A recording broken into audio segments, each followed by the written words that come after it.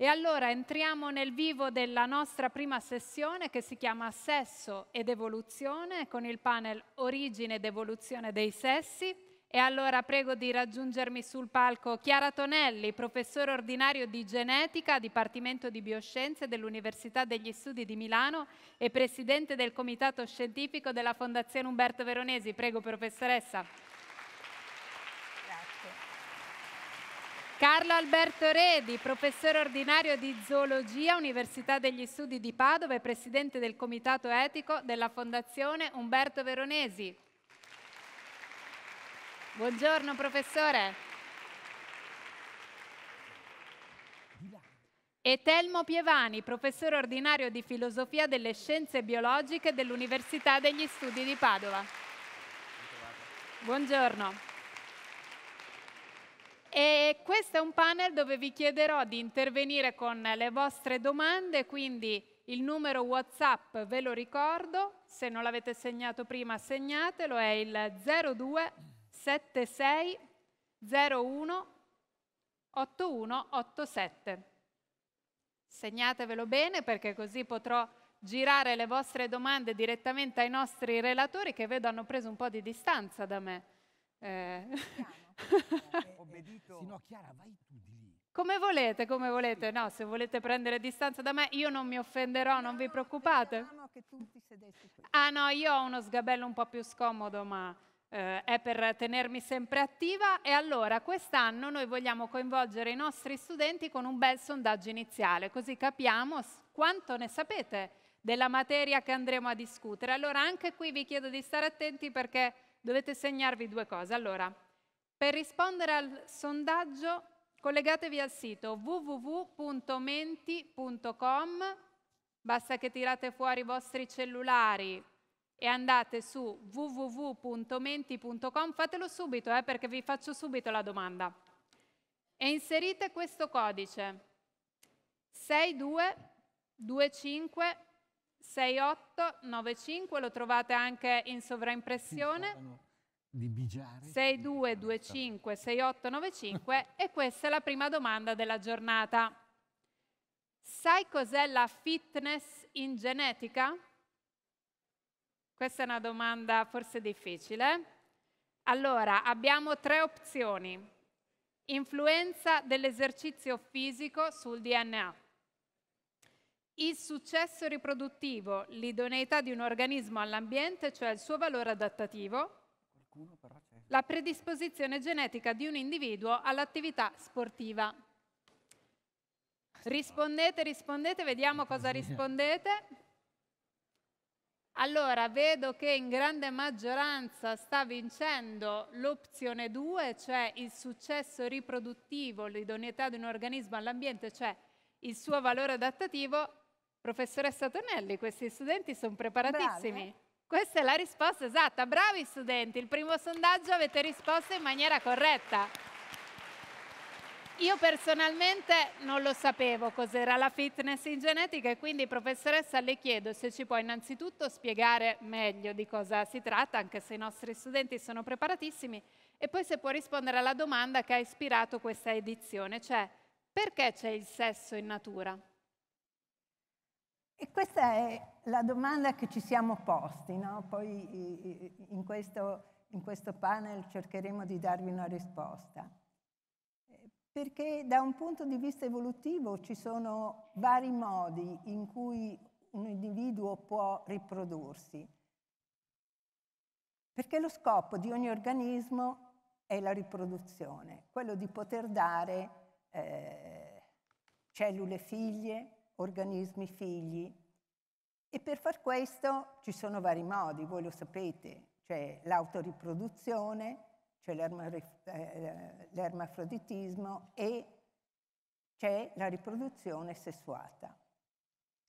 Ora, quello che si è affermato, e, e lo vediamo eh, in tantissimi organismi, è la riproduzione sessuata. Perché? Se ci pensate bene, la riproduzione sessuata eh, ha una serie di costi notevoli. Un organismo che si riproduce per autoriproduzione, se voi fate 100 organismi eh, in un determinato ambiente, per autoriproduzione tutti e 100 si riprodurranno. Se invece avete la riproduzione sessuata, se avete 100 organismi, 150 saranno maschi e 50 saranno femmine e solo le femmine si riprodurranno. Quindi c'è questo costo, di cui poi parlerà Telmo, eh, che è estremamente importante. Eh, quindi è un costo biologico che pesa. Eppure la riproduzione sessuata si è affermata. Ora, ci sono anche altri costi, più strettamente genetici, che riguardano il fatto che attraverso l'incrocio noi possiamo rompere una serie di eh, geni che, sono, eh, che, risultano vincenti perché eh, quando voi fate eh, un incrocio attraverso la meiosi eh, avete la ricombinazione, avete la segregazione eh, dei vari cromosomi ai poli e così via. E quindi delle combinazioni vincenti di geni nei confronti dell'ambiente possono rompersi. E questo è un costo eh, notevole. Però, tuttavia, la riproduzione sessuata ha vinto. E ha vinto perché? Perché rimescola i geni che ci sono tra due individui. Quindi abbiamo due individui che incrociandosi mettono insieme i propri geni. E con questo abbiamo nuove combinazioni. Abbiamo un primo risultato, che è quello che in genetica noi diciamo la complementazione, che vuol dire che se un individuo porta dei geni che sono deleteri, eh, la, incrociandosi con l'altro individuo, questo può portare i geni cosiddetti, gli alleli cosiddetti sani, eh, e quindi possono in questo modo eh, dar vita a un organismo che non porta più alleli solo deleteri. Inoltre, eh, quello che succede è che abbiamo la possibilità di eh, mischiare nuove combinazioni, quindi nuovi alleli, nuovi geni che portano a una miglior capacità di adattarsi all'ambiente soprattutto una nuova capacità di adattarsi e di essere resistenti a patogeni.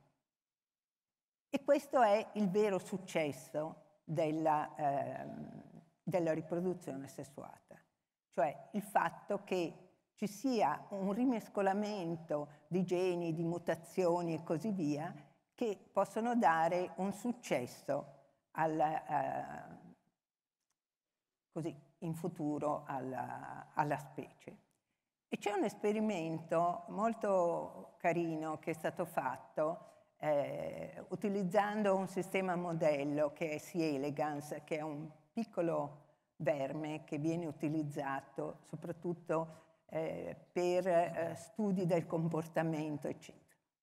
e quello che hanno fatto è di eh, prendere eh, due popolazioni, una che si, di C. elegans che si autoriproduceva e una invece che si eh, incrociava, quindi c'erano maschi e femmine.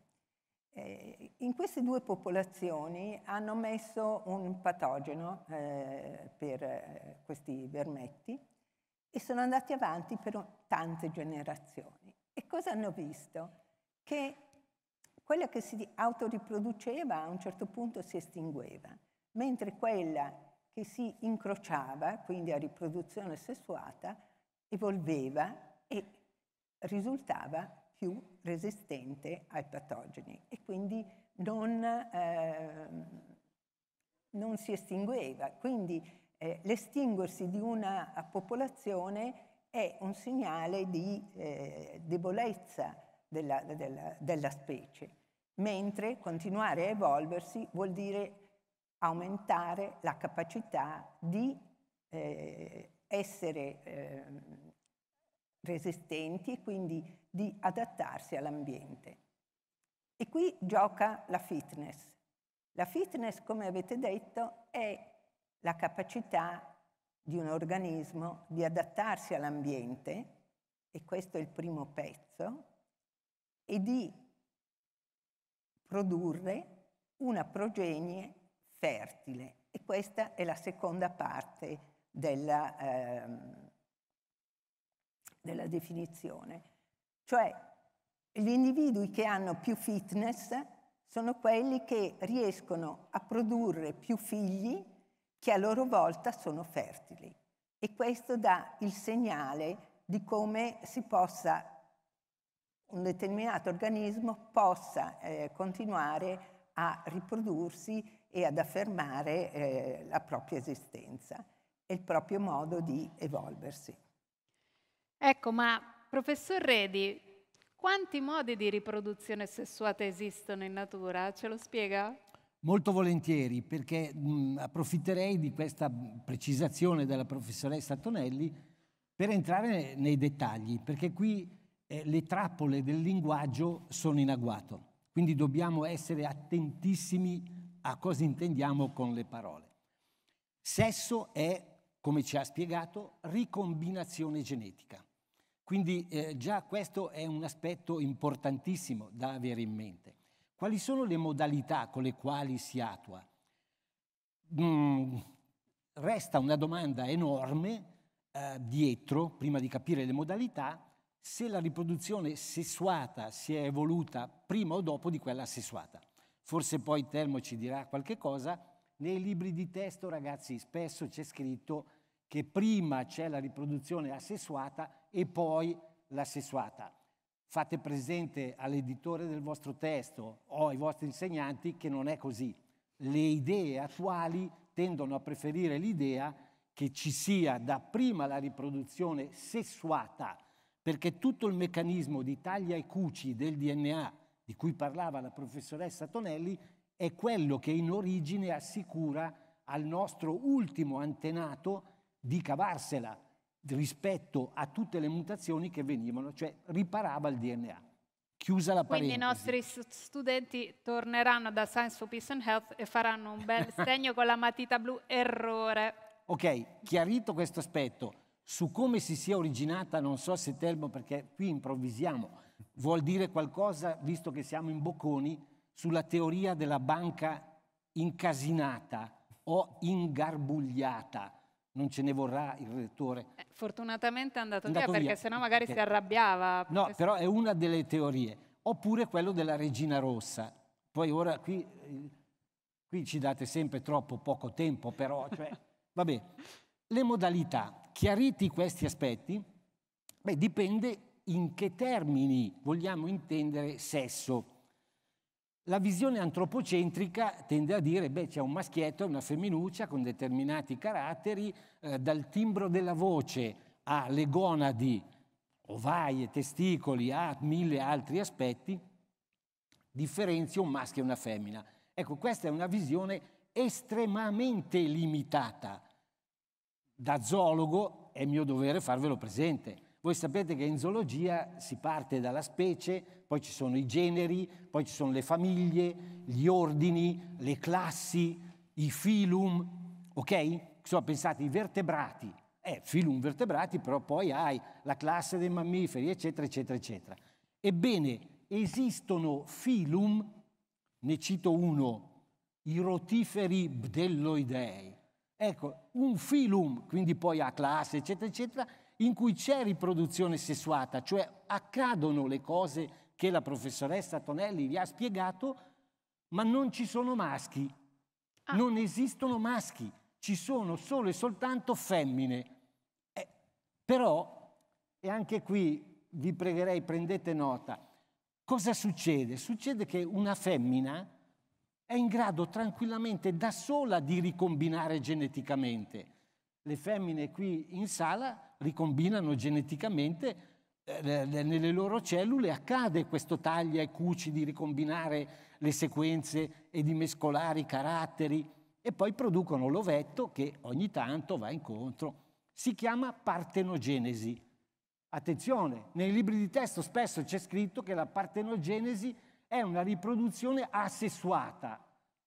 Fatevi restituire almeno la metà del costo del libro. Cioè, Vabbè, è... ma gli studenti usciranno da qui che andranno da tutti gli editori dei manuali scolastici. È dovere della eh? Fondazione Umberto Veronesi eh, diffondere la chiarezza. La partenogenesi è una riproduzione sessuata uniparentale. C'è solo un genitore.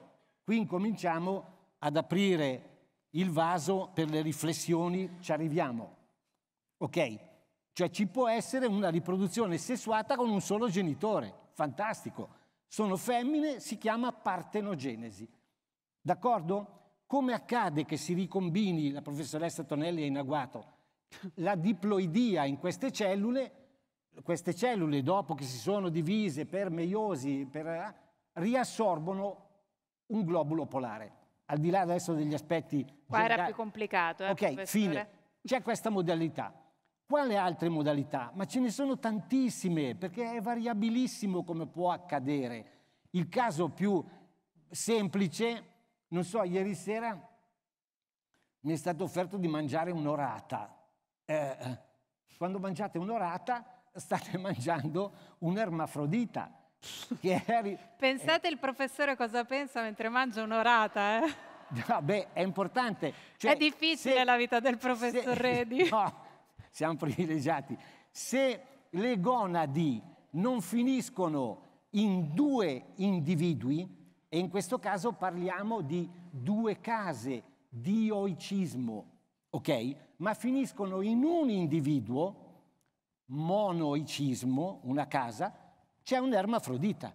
Questo ermafrodita fa sesso tranquillamente, lo può fare in una variabilità incredibile, rarissimo che se la cavi da solo. L'ermafroditismo sufficiente per le ragioni che ha spiegato la professoressa Tonelli, perché non assicura una grande variabilità inferiore, eccetera, eccetera, è raro. Può accadere, ad esempio, in questo nematode che ha nominato Cenorhabditis elegans, fantastico, che è in grado di farne di tutti i colori. Però normalmente li incontrate gli ermafroditi al di là al ristorante quando andate in giro e trovate due lombrichi, il lombrico è un ermafrodita, poi li vedete uniti a due perché è un ermafrodita insufficiente e quindi una volta fa il maschietto e una volta fa la femminuccia. Altro aspetto da ricordarci oltre alla unigenitorialità, cioè lo stesso individuo può comportarsi da maschio o da femmina. Ci sono poi, ho bisogno ancora un minuto, ho bisogno ancora un minuto. Eh, ci sono poi situazioni bidirezionali. Quando vedete quei bei pesciolini, il pesce pagliaccio, tutti questi pesci delle barriere coralline, e questi sono in grado addirittura di avere nel tempo una bidirezionalità, cioè mm, in genere prevale il fatto che all'inizio si è maschietti, proteroandria, e poi femmine. A volte accade proteroginia e poi maschietti. C'è un po' di tutto. Però la cosa importante da ricordare è che addirittura al di là di monoicismo, dioicismo, erbafrodita, partenogenesi, sesso è ricombinazione genetica e quindi tipi di accoppiamento, mating types. Ci sono gruppi dove i sessi sono 3, 4, 5, 6, 7, 8. Ci sono gruppi in cui i sessi, mating types della ricombinazione genetica, sono 13. Ma ci sta seguendo qualcuno dai palazzi alti? No, meglio non dirglielo, che potrebbero preoccuparsi molto di quello che viene detto qui. Cioè, ehm, c'è una variabilità incredibile. Di più, il sesso, e finisco, determinato geneticamente, va incontro a una serie di modificazioni anche nel caso così che si pensa bianco-nero, il caso dell'uomo. A livello embrionale e a livello fetale può essere distorto il piano di formazione di base che è femminile, è femmina. Solo se si accendono dei geni, il testis determining factor, il cercine genitale che dà origine alle grandi labbra, si chiude, forma lo scroto, eccetera, eccetera, eccetera. Ma poi anche in ambito post-embrionale, dopo che sei nato, perché dipende molto dall'ambiente, nel senso più ampio. La diossina che è un estrogeno mimetico, se mia madre ne mangia una tonnellata e io sono maschio in utero, c'è qualche problemino, ok?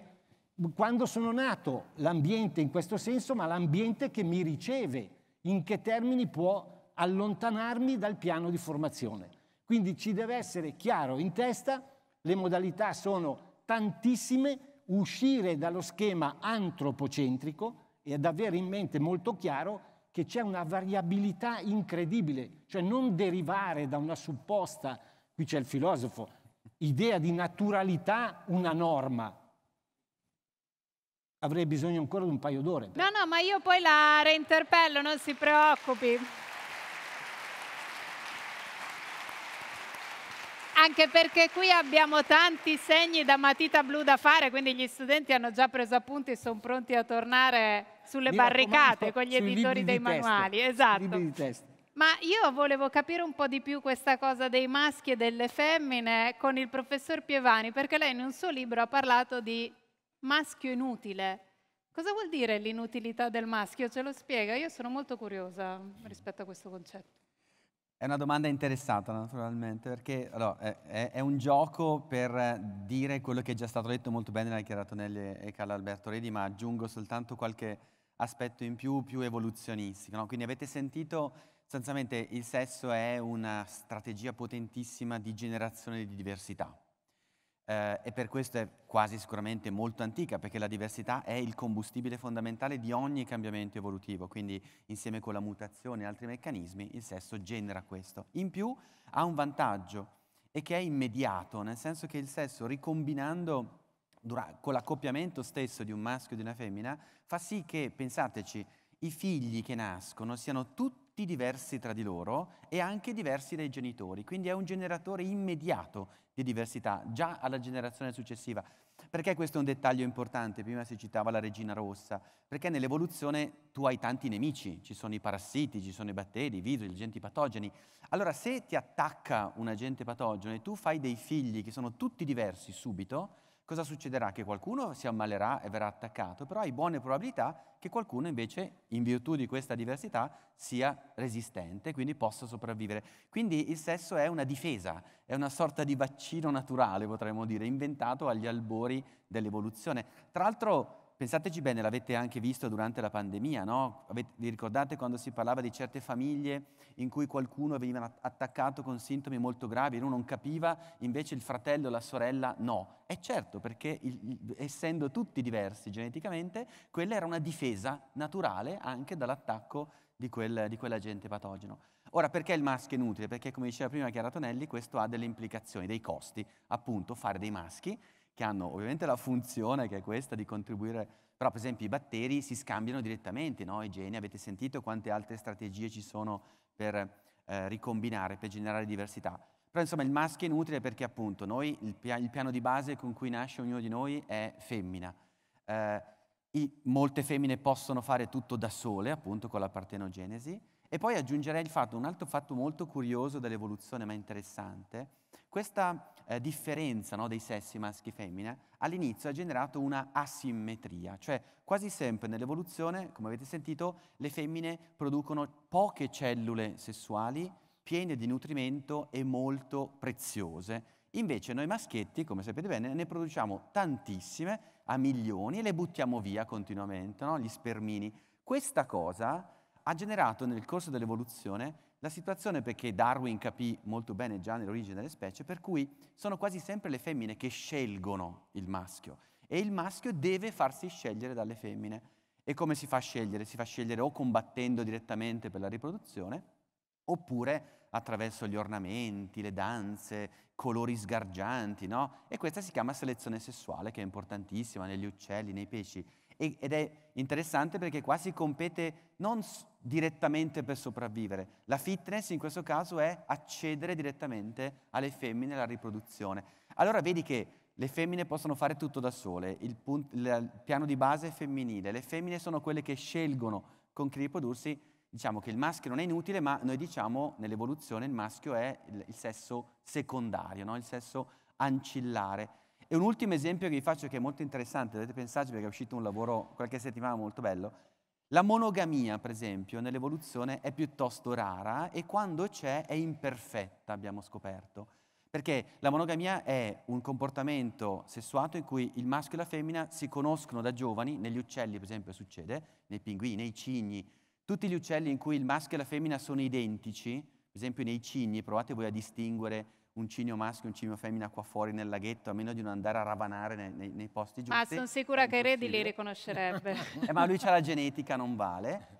Noi pensavamo, i miei colleghi genetisti pensavano che almeno in quel caso lì la monogamia fosse perfetta perché in questo modo presidi no, la, la, prole. E invece sono andati a controllare geneticamente e si è scoperto che quasi il 30% delle uova era stato fecondato da un altro maschio. Quindi anche la cigna, come dire, che pensavamo fosse un modello di monogamia, invece non lo è. Perché?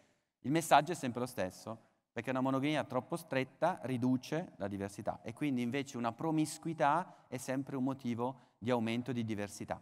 Quindi, insomma, il messaggio fondamentale è questo, no? il valore fondamentale, protettivo e generativo della diversità nell'evoluzione. E come diceva giustamente Carlo Alberto, lo, lo sottolineo anch'io tante volte, avete visto ermafroditismo di tutti i tipi, eh, femmine che fanno da sole, asessuate, asessuate, i batteri che fanno ancora in un altro modo. Cioè la natura è veramente un arcobaleno di strategie diverse e dimentichiamoci l'idea che l'aggettivo naturale voglia dire giusto o voglia dire normale. Quindi il mio consiglio ai ragazzi è quando sentite qualcuno che parla di un comportamento sessuale naturale rispetto a uno contro natura, una famiglia naturale rispetto a una contro natura, diffidate immediatamente. Gli mandiamo subito Carlo Alberto Redi che poi gli fa un pronostico di due ore sulle diverse forme di riproduzione. Ma vorrei rivolgere una domanda a entrambi, professor Redi e professor Pievani, appunto per capire se può esistere un futuro diverso per la riproduzione sessuata nell'uomo, visto che... Beh, Calabert, tu ci stai lavorando. Quindi. Eh, eh, ci sta lavorando, professore, ci dica. Sì, ho poco tempo, immagino. Eh, purtroppo quella è la condanna della giornata. La risposta secca è sì, però devo un minimo... Ci sono degli aspetti interessanti perché mm, diciamo, l'avanzamento delle conoscenze uh, in generale, delle scienze della vita, no? perché alla fine della fiera viviamo nel millennio delle scienze della vita, è tutto bio.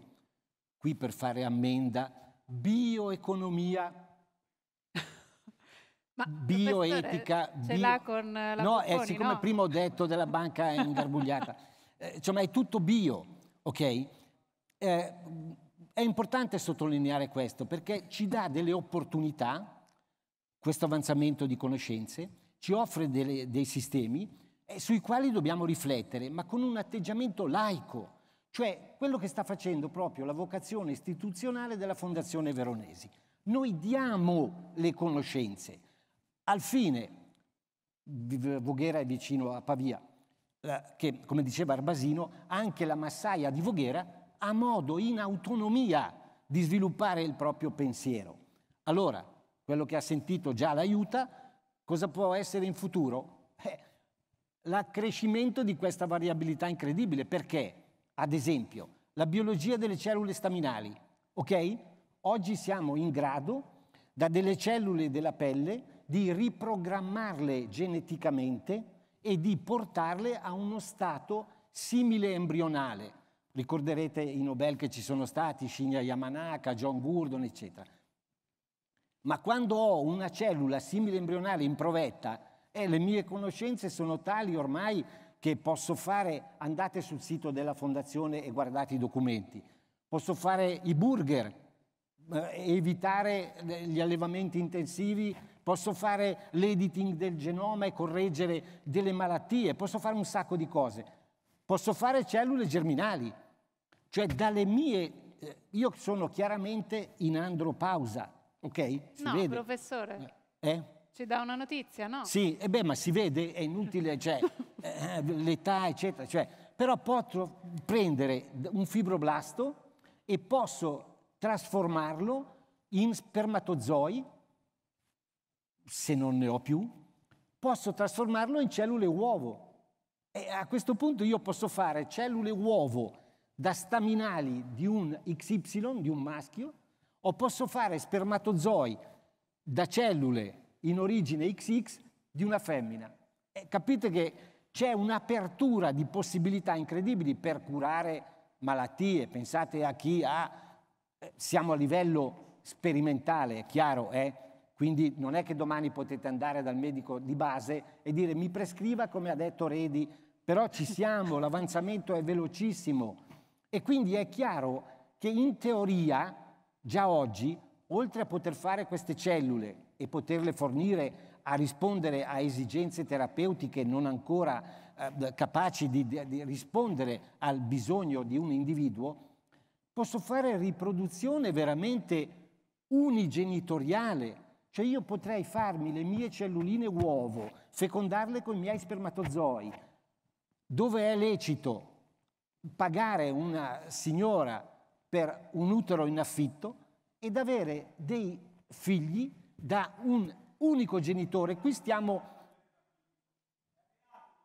Ma stava Ma ipotizzando certo, sì, una sì, cosa, ha detto dove è, lecito. Laddove, laddove è possibile. Se poi vuole intervenire noi abbiamo le domande da parte del pubblico, però per rispetto lascerei parlare il professor Redi. Ma, ma tutte le ragioni, ad esempio qui è reato, ma in alcuni luoghi non è reato. Per cui diciamo la via è fattibile, su questo non c'è difficoltà.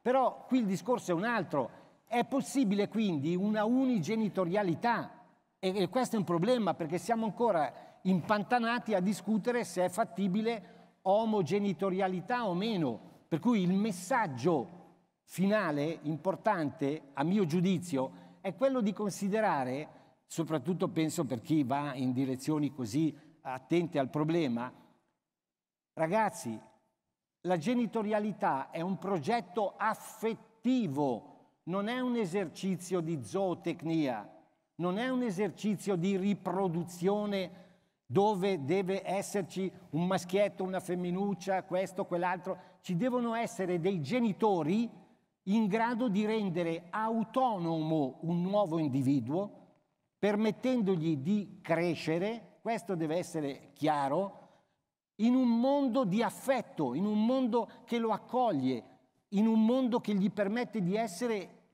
inclusivo e di essere chiunque egli desideri essere. Questo deve essere importante. Le nuove conoscenze, quello che ci permettono di fare, di sviluppare nuovi sistemi di sesso riproduttivo, sono questi e chiamano in causa il filosofo, il giurista, tutti quelli, anche quel signore, giustamente, per sviluppare delle norme che siano valide per tutti, con un approccio laico, non ideologico. Questo è il punto.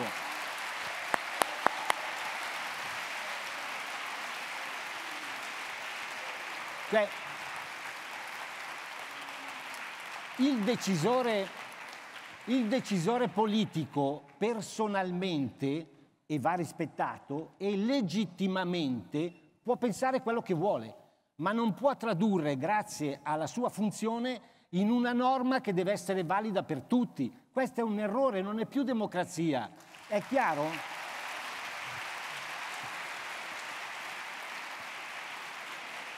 Professor Pievani, la domanda è anche a lei. Quale futuro ci può essere per la riproduzione sessuata dell'uomo?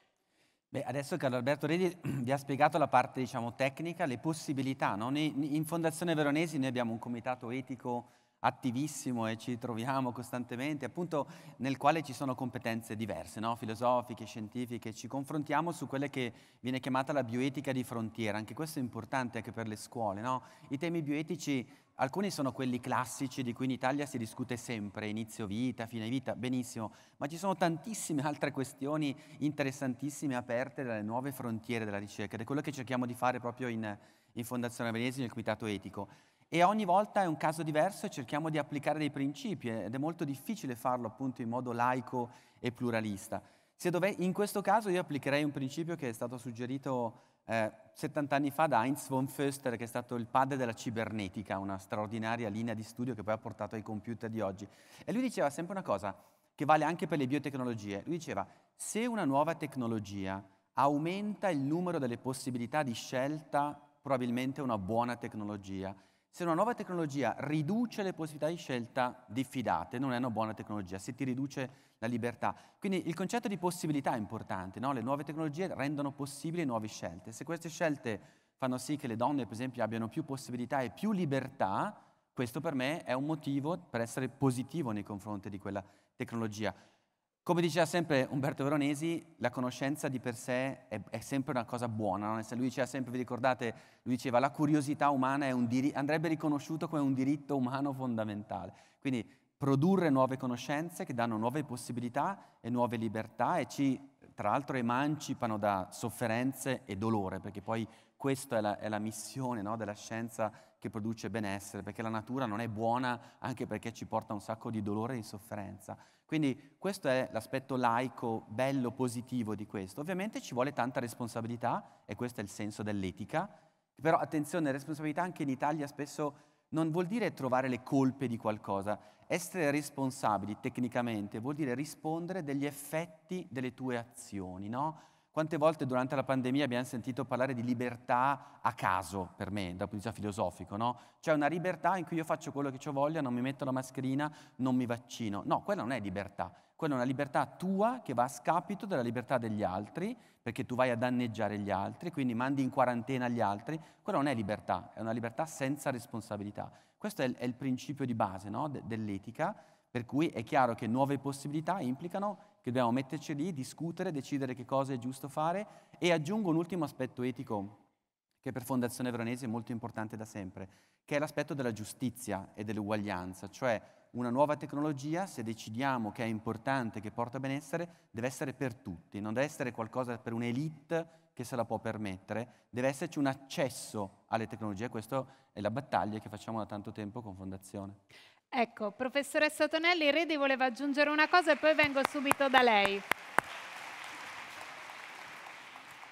C'è questo terrore, no? Quando si dice le nuove tecniche, oddio le tecniche, cosa succederà? Come giustamente ha rilevato eh, Telmo Pievani, eh, deve essere un aspetto aperto a tutti, cioè non solo a chi ha la carta di credito in saccoccia e può permetterselo perché non va bene, ma il discorso tecniche deve essere visto come delle opportunità, perché alla fine della fiera, se vogliamo pensarci bene, paradiso, il termine paradiso eh, viene proprio dal fatto che cos'è il paradiso? È un recinto e quindi è un, un qualcosa costruito dall'uomo.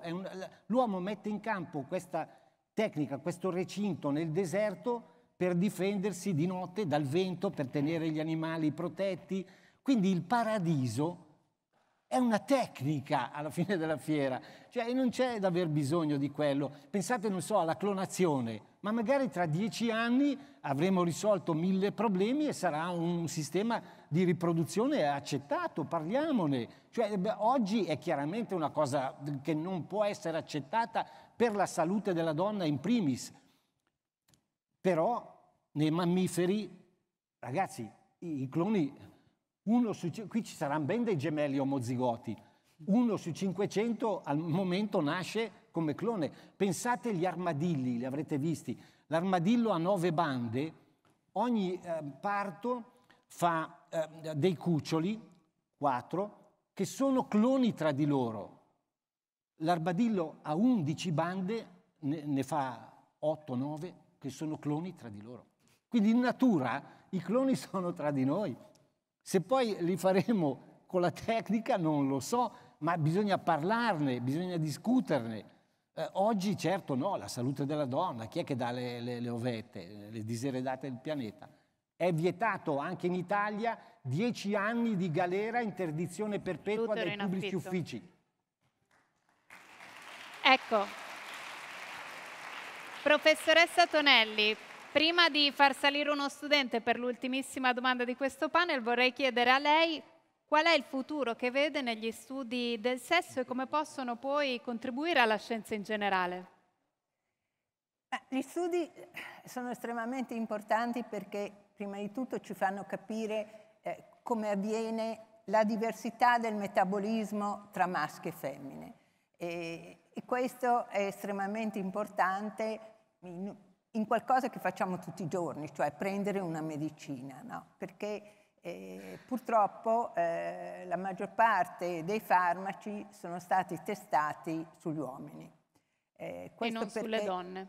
E non sulle donne. E, e questo ehm, avviene perché è molto più semplice. Se uno deve fare un trial clinico, prende una serie di uomini eh, senza preoccuparsi eh, del fatto che le donne invece hanno il ciclo mestruale che quindi eh, c'è una, uno sbalzo ormonale e quindi questo deve essere tenuto in conto quando si utilizzano dei farmaci.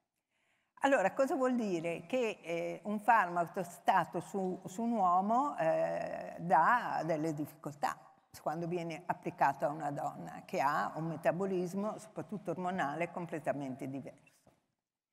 E questo ci porta a quello che sarà in futuro la medicina personalizzata, per cui non solo il genere, ma poi anche tutta una serie di altri parametri eh, genetici e così via dovranno essere presi in considerazione. Eh, non si può pensare di dare eh, lo stesso farmaco a un uomo che pesa 120 kg e una donna di 40 kg per dire, con metabolismi, come vi dicevo, completamente diversi. Poi volevo aggiungere una cosa a quello che diceva Carlo Alberto.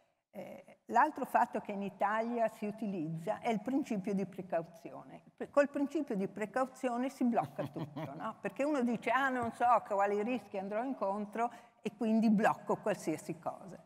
Ecco, il principio di precauzione, così come viene adottato in Italia, dovrebbe sparire, perché questo blocca qualsiasi innovazione. Blocca anche i progressi della ricerca scientifica. Certo, certo, certo. Uh, speriamo, adesso c'è una nuova tecnica eh, che negli ultimi anni ha preso un po' il sopravvento per creare mutazioni, perché come avete capito le mutazioni eh, sono alla base della variabilità e sono alla base della, eh, dell'evoluzione. Mutazione e selezione sono quelli che hanno permesso a noi di diventare, partendo da un batterio, di diventare un organismo complesso come siamo noi. Se non ci fossero state mutazioni saremmo ancora un batterio, un virus, quello che... Allora, e, e questa tecnica è quella del gene editing, cioè una tecnica dove si possono produrre delle mutazioni in geni che noi abbiamo identificato e invece di cercare eh, attraverso migliaia e migliaia di individui la mutazione che esiste, diciamo, in natura, eh, possiamo copiarla e indurla attraverso un sistema molto semplice. Questo ci può permettere di poter dalle piante, eh, sviluppare piante che siano più adatte ad esempio al climate change. Eh, per quanto riguarda eh, animali e, e uomo, ehm, riuscire ad avere eh, degli organismi che siano più resistenti a malattie e così via. Quindi eh, c'è tutta una, mm, una, possibilità di poter eh, migliorare le situazioni che abbiamo. Dopo questo panel sentirete eh, un panel sulla medicina di genere, che è proprio l'applicazione più eh, diretta di quello che arriva dallo studio dei sessi. E, e quindi direi che eh, è un'applicazione estremamente E approfondiremo importante. anche quello che ci ha anticipato, cioè che i farmaci vengono testati soprattutto sugli uomini e non sulle donne, questo provoca tantissimi problemi.